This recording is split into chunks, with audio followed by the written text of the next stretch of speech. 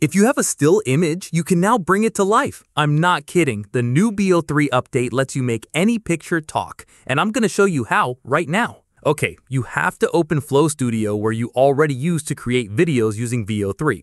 The key to this whole process is changing the mode from the default text to video to frames to video. This is what lets us use our own image as a starting point.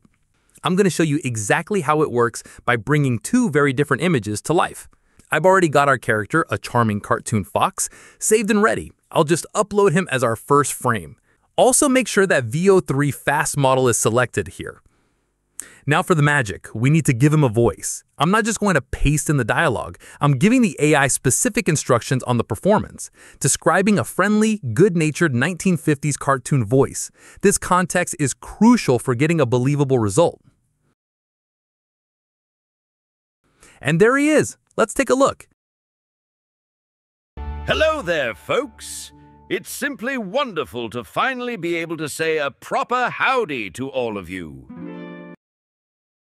Hello there, folks! It's simply wonderful to finally be able to say a proper howdy to all of you. Notice the subtle head tilt and eye blinks? Now, let's push this technology further. What happens when we use a photorealistic image of a real person? I'm uploading a picture of a man this time. Same process as before. We select frames to video, upload the image as our first frame, and crop it nicely. This time the prompt is different. We want a more grounded human performance. The voice prompts ask for a warm and engaging male voice, and the dialogue is about the future of content creation. This will test the AI's ability to create a much more subtle, human-like animation. Okay, let's check it out.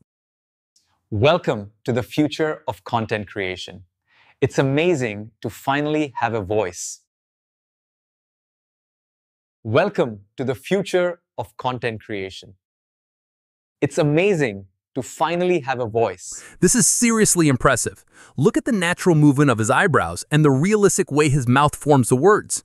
It's not over-animated, it's grounded in reality. The lip sync is incredibly accurate.